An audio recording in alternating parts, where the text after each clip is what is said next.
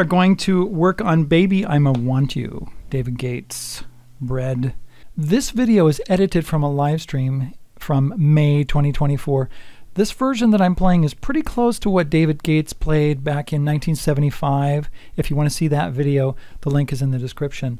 The music is available in my book. The easier version of this song will be right there on the screen when I get it done.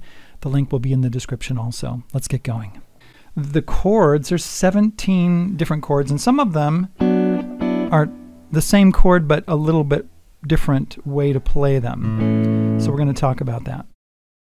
That's our first chord. We've got an A bass right there, A major 7. The next chord is B minor with an A bass. So it's the same fingering, down two frets. B minor with an A bass. And we have a D. We'll talk about the strum in a minute.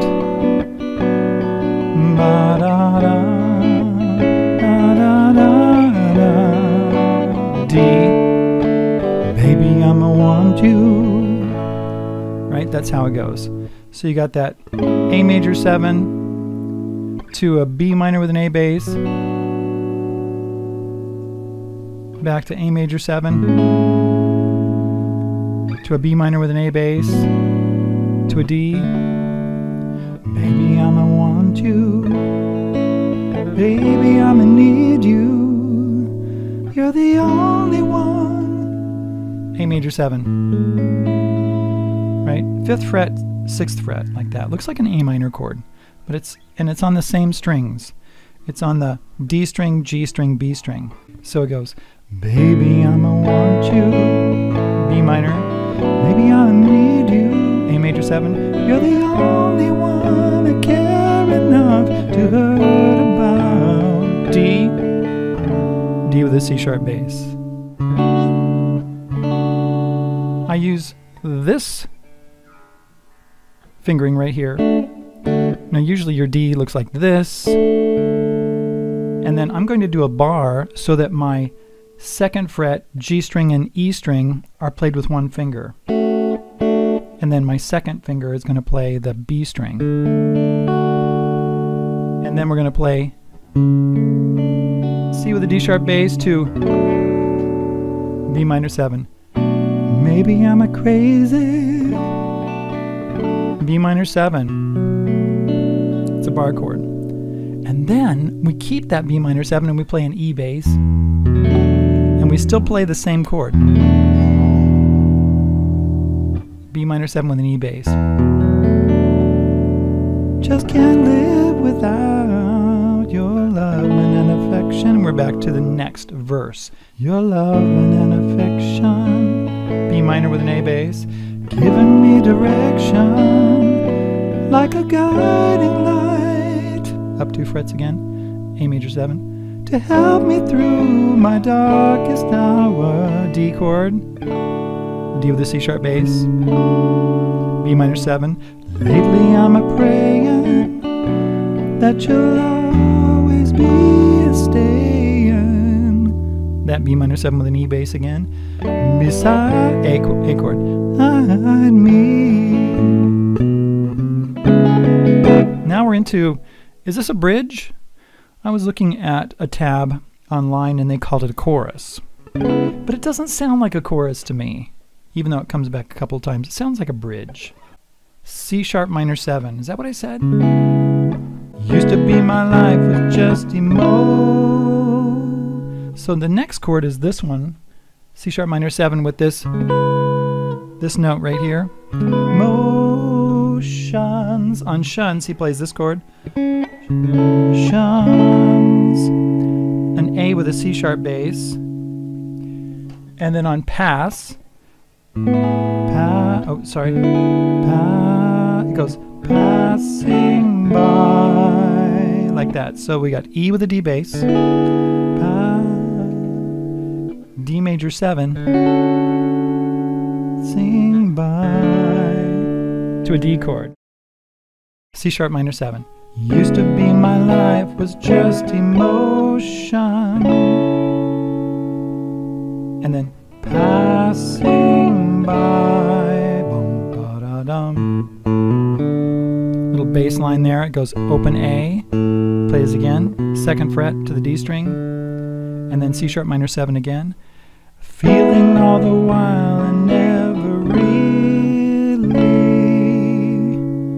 A with a C sharp bass, E with a D bass, no D major 7, wing, D, Y.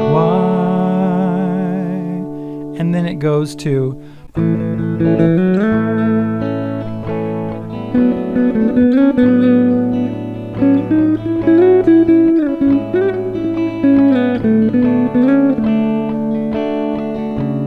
Lately I'm a praying that you'll always be staying beside me. Used to be my life was just emotion passing by.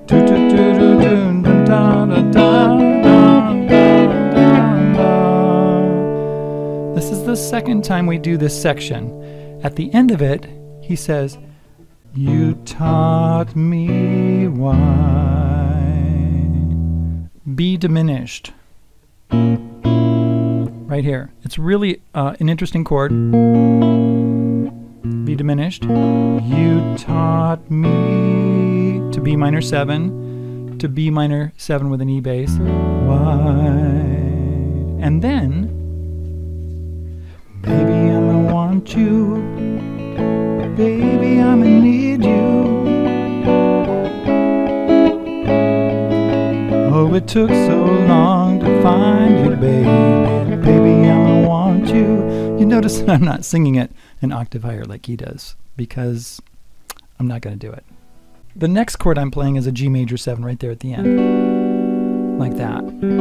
Because um, in this outro, baby, I'ma want you. Baby, I'ma need you. You can play it like this, like that A minor chord on the third and fourth fret, or you can play it like this, like we did at the beginning. Then you play an A major 7. It's either like that or without that finger. Oh, it took so long. Fifth fret, fourth fret, third fret, second fret. Oh, it took so long to find you, baby. D chord. Maybe I'ma want you. Do the same thing again. Baby, I'ma need you. And at the end it goes.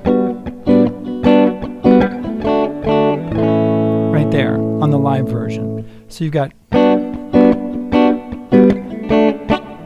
I'll explain that. We have this G major 7, it goes 1, 2, 3, 1, 2, 3, 1, 2, 3, 1, 2, 3, 1, 2, 1, 2. I'm just counting the eighth notes there. Just like that. Really cool. Um, very nice rhythms right there. And uh, it, it harkens back to other rhythms that we've heard in other songs. I was going to tell you about this chord and I forgot about it. It's after the solo, I think that's where it was. I'm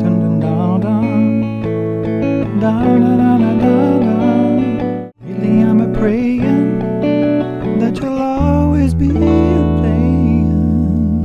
Right there. I think he plays this chord on that particular video.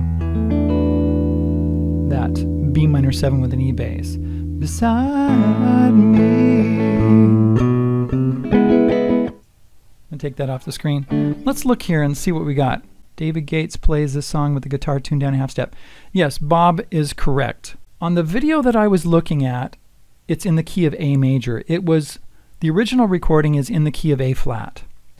You can play it with these chords. You have to tune your guitar down to E flat tuning, so it would be E flat, A flat, D flat, G flat, B flat, E flat, if you want to play it this way.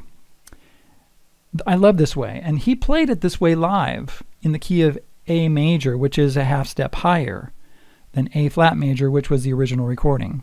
That's it. I hope you liked this video. If you would like to see another video of mine, check out the links on the screen. If you would like to support this channel or get my book, look in the description for links. And thanks for watching. We'll see you later. Bye.